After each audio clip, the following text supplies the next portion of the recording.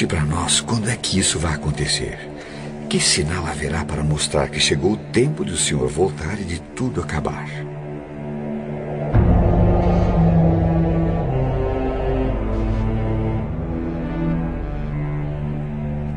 Tomem cuidado para que ninguém engane vocês.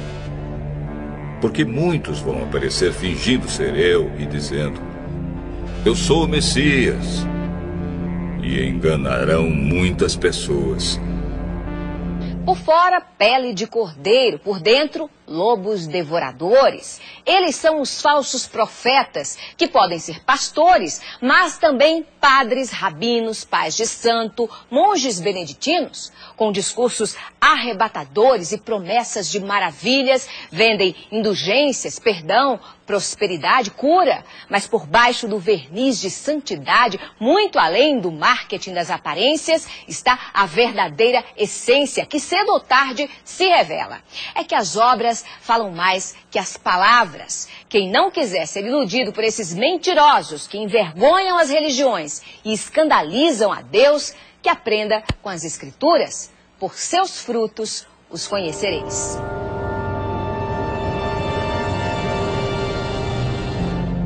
Não tenham medo quando ouvirem um barulho de batalhas ou notícias de guerras. Tudo isso vai acontecer, mas ainda não será o fim. Uma nação vai guerrear contra outra e um país atacará outro. Em vários lugares haverá falta de alimentos e tremores de terra. Essas coisas serão como as primeiras dores de parto. Tão distantes e tão próximos na dor. Brasil e Japão sofreram suas maiores tragédias naturais. Nos dois lados do planeta nunca se viu nada igual. 11 de março no Japão. A terra tremeu como nunca no país mais bem preparado do mundo para enfrentar terremoto.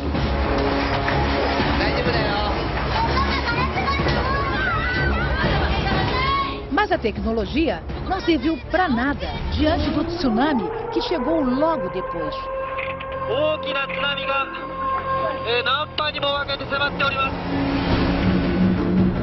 Viajando a 700 km por hora, as ondas gigantes arrasaram o nordeste do país. Todas as nações ficarão desesperadas, com medo do terrível barulho do mar e das ondas. Moradores receberam alertas para que procurassem lugares seguros, mas ainda não é possível saber quantos não conseguiram escapar.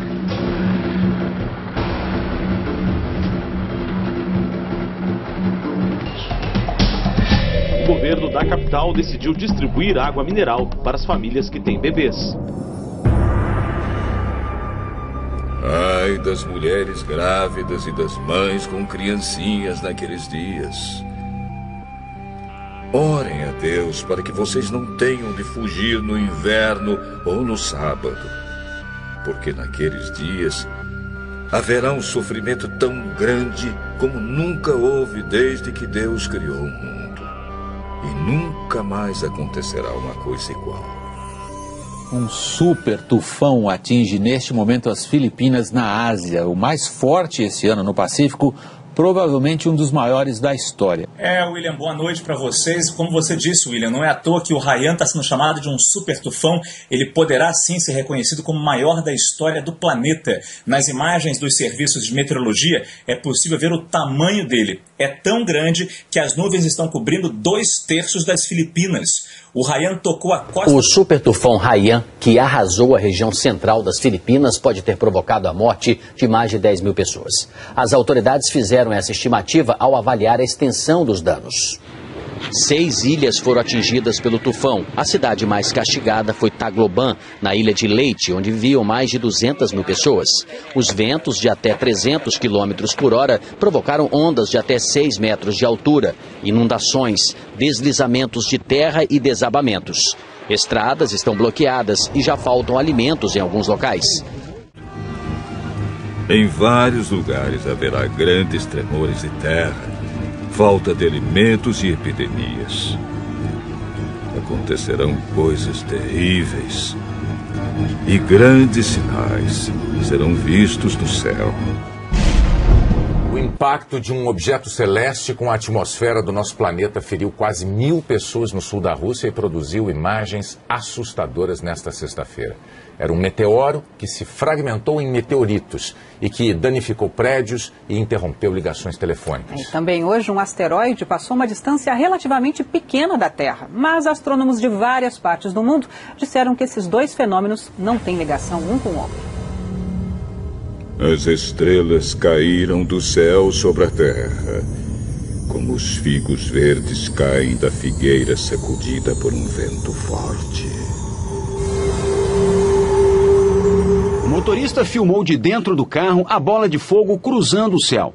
O brilho é tão intenso que provoca um clarão na cidade de Chelyabinsk. Segundo as autoridades da Rússia, a rocha que veio do espaço tinha 12 metros de largura e pesava cerca de 10 toneladas quando entrou na atmosfera da Terra, a uma velocidade supersônica de 54 mil quilômetros por hora.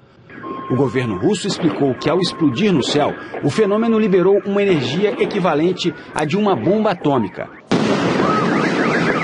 Vários estrondos foram ouvidos na região. No momento do impacto, os telefones celulares pararam de funcionar. A passagem do meteoro coincide com a passagem de um asteroide hoje perto da Terra. Esse asteroide, que é bem maior, pôde ser detectado com antecedência pelos astrônomos. O DA-14 2012, como foi batizado pela Agência Espacial Americana, pesa 130 mil toneladas e tem 45 metros de diâmetro, o equivalente a quase metade de um campo de futebol. O asteroide passou a menos de 30 mil quilômetros da Terra, distância considerada pequena.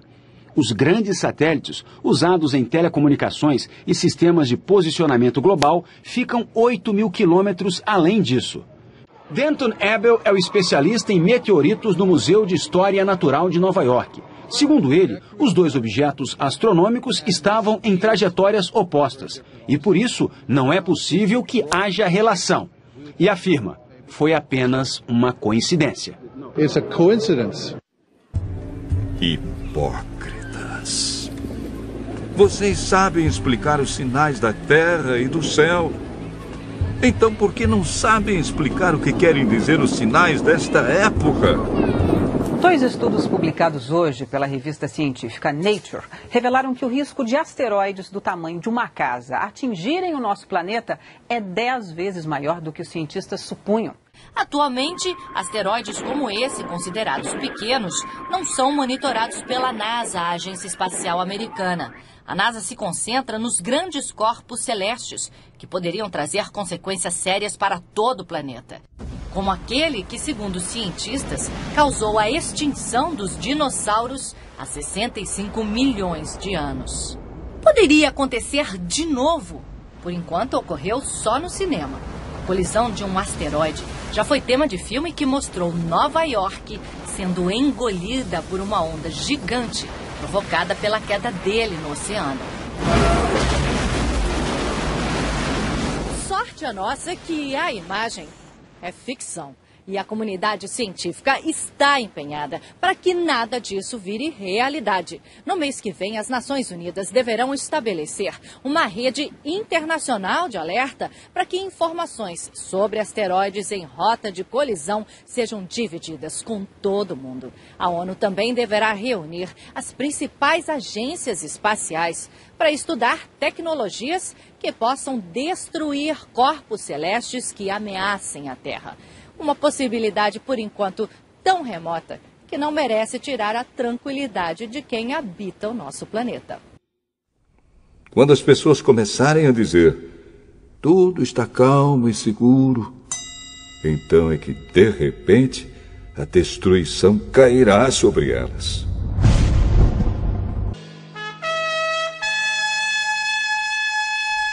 E uma coisa que parecia uma grande montanha pegando fogo foi jogada no mar. Esta foi a 16ª erupção do Etna só neste ano. E foi lançada sobre a terra uma chuva de pedra e fogo misturados com sangue. Na Indonésia, o vulcão Sinabung lança cinzas em brasa e rochas a uma altura de até 8 quilômetros. O Centro de Catástrofes Geológicas elevou para o máximo o nível de alerta neste domingo. Após quatro séculos inativo, o vulcão demonstrou atividade em 2010, mas essa erupção pegou os cientistas de surpresa. O Sinabung é um dos 129 vulcões ativos da Indonésia e faz parte do Círculo de Fogo do Pacífico. Foram oito erupções seguidas nos últimos dias. 12.300 pessoas foram retiradas da região. Pois sabemos que até agora o universo todo geme e sofre como uma mulher que está em trabalho de parto. As mudanças climáticas em todo o mundo acontecem em níveis sem precedentes. Sinal de alerta para o planeta. O relatório IPCC, sigla em inglês para Painel Intergovernamental de Mudanças Climáticas da ONU, mostra que os prejuízos do aquecimento global podem ser mais imediatos do que os cientistas pensavam. A previsão é que até o fim deste século a temperatura da Terra seja elevada em mais de 2 graus Celsius. O número ultrapassa a meta estabelecida por cientistas de 195 países que fazem parte do estudo.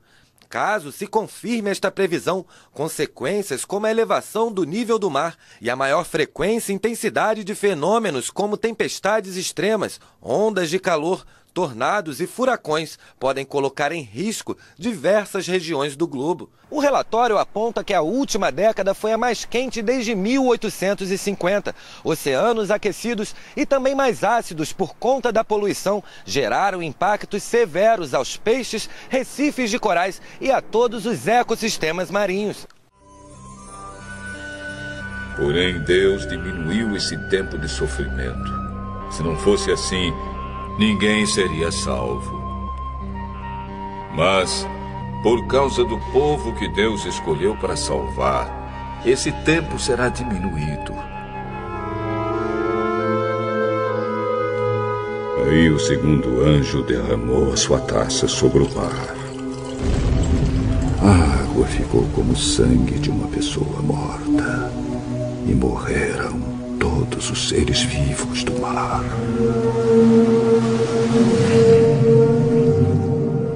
O governo do Japão informou que a usina de Fukushima está lançando aproximadamente 300 toneladas de água radioativa no mar por dia. A empresa que administra a usina garantiu, no entanto, que a maior parte da água contaminada se limita às regiões próximas da central, cujo porto se encontra isolado do mar aberto.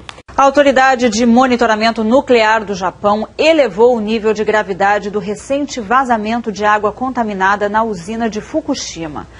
Novas imagens que foram divulgadas hoje mostram o vazamento de água contaminada de um reator da usina japonesa de Fukushima. É a primeira vez que um vídeo é feito mostrando um vazamento da usina que sofreu danos graves depois do tsunami que atingiu o Japão em 2011. Esse vídeo foi feito na última sexta-feira e mostra a água que escapou do reator vazando pela tubulação. Há pouco tempo surgiram denúncias de que a água contaminada da usina estaria chegando ao Oceano Pacífico. O porta-voz do governo do Japão veio a público para lembrar as providências que foram anunciadas nessa semana para tentar controlar o problema de vazamentos na usina de Fukushima e que o assunto vai ser resolvido o mais rápido possível. A empresa que administra as instalações nucleares também está sendo acusada de esconder a extensão dos problemas em Fukushima. Jesus disse ainda: Aprendam a lição que a figueira ensina. Quando seus ramos ficam verdes e as folhas começam a brotar, vocês sabem que está chegando o verão. Assim também, quando virem acontecer essas coisas, fiquem sabendo que o tempo está perto, pronto para começar. Eu afirmo a vocês que isto é verdade.